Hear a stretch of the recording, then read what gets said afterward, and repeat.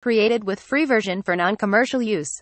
A lady called in saying she had seen a UFO outside of, outside of her house window, outside of her porch window. The 911 operator responding, I don't think that's the explanation of what you're seeing. I, I can smell the Anheuser-Busch you're drinking over the line. Yeah, that Anheuser-Busch you're drinking and all those bong hits really might explain that flying object you're seeing outside your window. Object just got identified,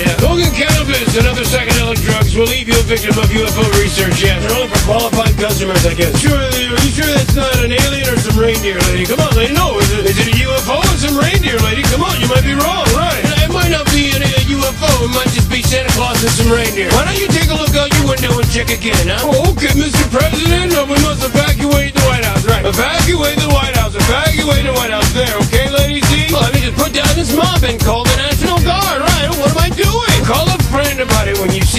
UFO, okay? Not 911, alright? You see a UFO, I'm gonna direct you to the link on the computer I don't care, alright? Cause this one doesn't, right? It was just the alphabetical O from the motel sign falling from the top of the building, so uh, how come only drunk people see UFOs? How come people who don't use drugs and live in motels don't see UFOs? That's all I'm saying. Trust me, it's authentic. Whatever you're seeing, trust me, lady, I'm sure it's authentic. Hey, look, you're sitting on a porch and a giant UFO flies by, and that's exactly what you get from over to Pennsylvania, so what can I tell you? It might not have been a arrived on scene, started smoking when she was smoking, and saw the UFO too. Sometimes, see, see how calling the police department never really works?